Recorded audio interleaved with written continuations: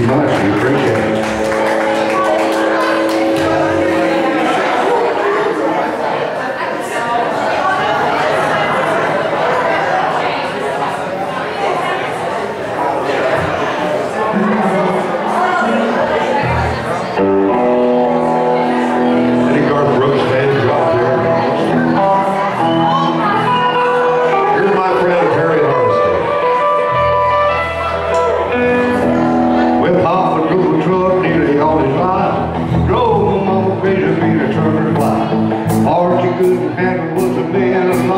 Couldn't handle was